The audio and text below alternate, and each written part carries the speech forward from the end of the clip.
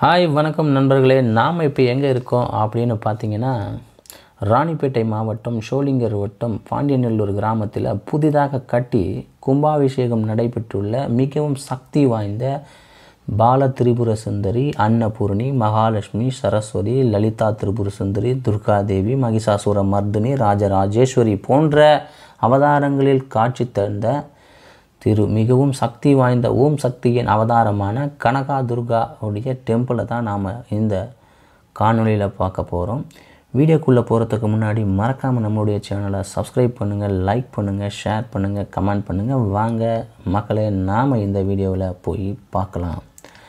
ஆந்திராவிலுடைய காவல் தெய்வமாக விஜயவாடா என்கின்ற பகுதியில் கனகா துர்கா தேவி விளங்குகிறார். கனகா துர்கா தேவி மகிஷாசூரனை அழித்ததினால சந்தோஷத்தில் இத்தலத்தில் தங்க மழை பொழித செய்ததால் கனகதுர்கா என்ற பெயர் பெற்றாள். சக்தி பீடங்களில் ஒன்றான இத்தலத்தினுடைய நவராத்திரி மிக சிறப்பாக கொண்டாடப்படுகிறது. அப்பேற்பட்ட மிகவும் சக்தி வாய்ந்த சிறப்புமிக்க அன்னபூர்ணியாக இந்த திருத்தலத்தில் அருள்பாலிக்கிறார். பாண்டியனுள்ளர் கிராமத்தில் அந்த அந் அம்பிகையினுடைய வரலாற்று அந்த அம்மனுக்கு என்ன நாம் நேர்த்திக்கடன் செய்ய வேண்டும் என்கின்றதையெல்லாம் இந்த காணொளியில் பார்க்கலாம். தல வரலாறை பார்க்கும்போது இந்த தல வரலாறில் விஜயவாடாவில் வசிக்கக்கூடிய மிகவும் சக்தி வாய்ந்த அம்மனாக இருக்கக்கூடிய கனகதுர்கையினுடைய கீலா என்கின்ற அசுரன் துர்கையினுடைய அருள் வேண்டி தவம் செய்தால் தவத்தினுடைய மகிழ்ந்ததினால துர்கை அவனுக்கு காட்சி கொடுத்ததும் வேண்டும் வரம் கேள் என்று அன்னை கேட்க அன்னையே நீ எப்போதும் என் இருதயத்திலே வாசம் செய்ய வேண்டும் என்று வரம் கேட்டான் கீலா என்கின்ற அசுரன்.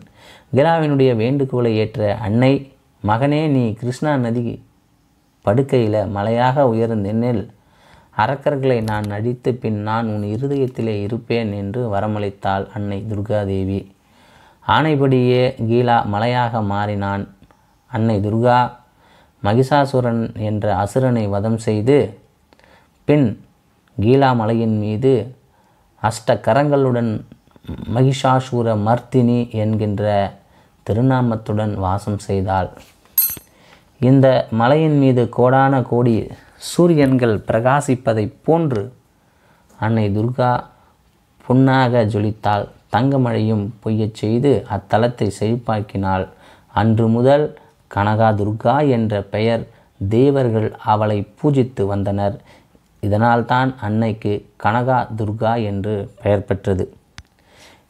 அது மட்டும் இல்லாமல் அசுரர்களுடைய கொடுமையை தாங்க முடியாத நிலையில் இருந்த இந்திரகில என்ற முனிவர் ஆதி பராசக்தியை வேண்டி தவம் இருந்தார்.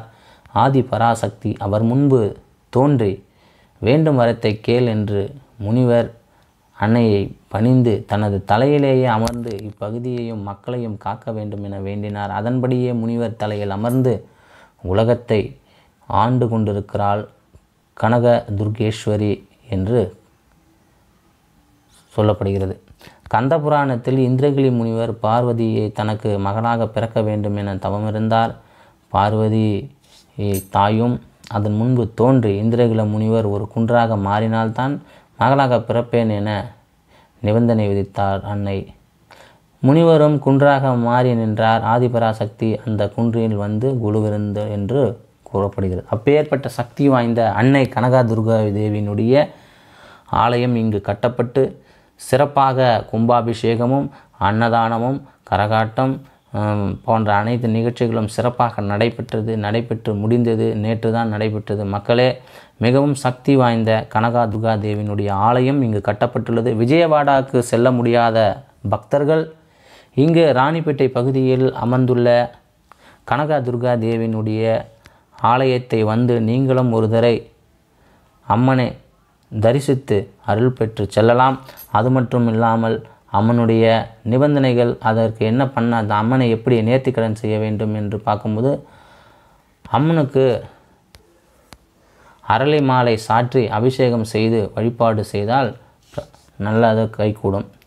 பிரார்த்தனைகள் என்னென்ன அப்படின்னு பார்த்தோன்னா எதிரிகளுடைய தொந்தரவு விளங்க செல்வம் செழிக்க அம்மனை வழிபாடு செய்கிறார்கள். அன்னை கனகா துர்கா தேவியை வணங்கினால் அவளது ஆசையால் பொன்மழை பொழியும் என்பது பக்தர்களின் நம்பிக்கையாக இருக்கிறது இத்துடன் இந்த வீடியோவிலிருந்து நான் விடைபெறுகிறேன்.